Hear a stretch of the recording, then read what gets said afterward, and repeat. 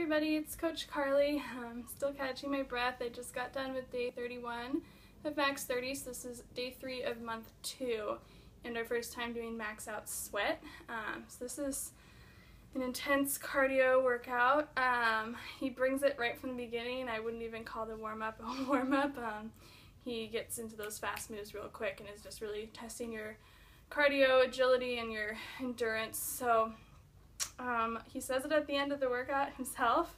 This is the hardest program, hardest workout he's ever taught, and it was definitely the hardest workout of the program so far. Um, I think definitely a little harder because this is the start of a new month and a new set of workouts, so it's sort of like starting all over again. And if you know you've been doing max 30 for a while and you've done, you know, the first week of month one was the hardest, and so again, this is the hardest week um, of the whole program, really, because it's stepped up another notch. Um, so I've got all that soreness and everything that makes all the moves just a little harder. My chest was super sore today from that Tabata workout yesterday. Um, and my legs and stuff are just tired. So I know that going forward, it's not going to be any worse than it was today. That's always a relief to know that. And he's, you know, Shaun encourages you at the end of the workout. He's like, I know you feel like you just shot yourself.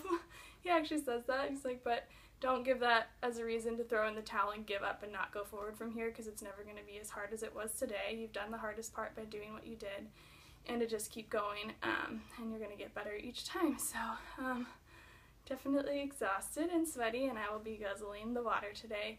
But it's just awesome. Like I said, you know, these workouts are hard, but I'm like smiling and laughing at the end when he's sh- saying things like that. I'm not like, F you, Shaun T, I hate you. I'm just like laughing because he knows it. He knows he's pushing you hard, but he's just like so motivated and so proud of you for doing it.